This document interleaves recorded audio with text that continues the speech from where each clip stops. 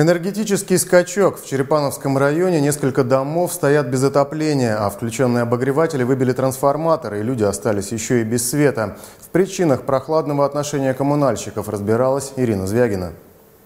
Дай бог здоровья, как говорится, моим друзьям они приютили, я у них ночевала, потому что дома шел пар изо рта, на улице как раз снег шел, и вот это все произошло.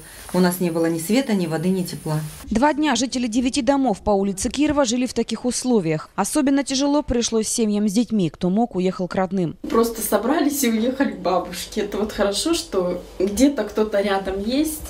Вот собрались и поехали. А как? В таком холоде воды нет, света нет, тепла нет.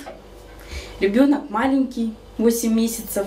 А у нас, извините, нет общественных туалетов, у нас нет колодцев, и нам не привезли даже воды ни разу.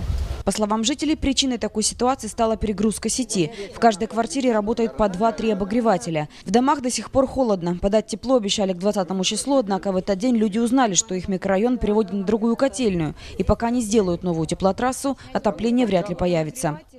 Вот тут траншея, вы сейчас ее увидите, она перекопана, ее выкопали, уложили там трубы, эти какие-то стали укладывать после наших звонков мэру, мы стали надоедать, понимаете, что ну как это так, отопление у нас мясокомбинат перекрыл они стали что-то вроде бы двигаться. Потом, говорят, мы заказали в Барнаул трубы, которые еще не пришли. Их действительно до сих пор так и нет. Люди говорят, виной всему конфликт между поставщиком и покупателем тепла. Суть вопроса в большом долге. Еще в июле руководители котельной мясокомбината отказались отапливать, о чем известили администрацию Черепанова. За несколько месяцев вопрос так и не сдвинулся с места. ОКИЦ, вот теплоснабжающая организация, должна была построить теплотрассу до 20 сентября и сдать ее в эксплуатацию, то есть пустить по ней тепло от этой котельни.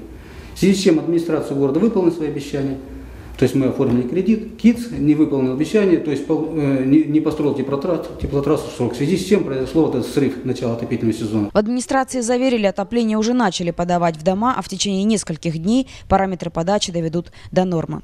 Ирина Звягина, Александр Давыдов, Новости УТС.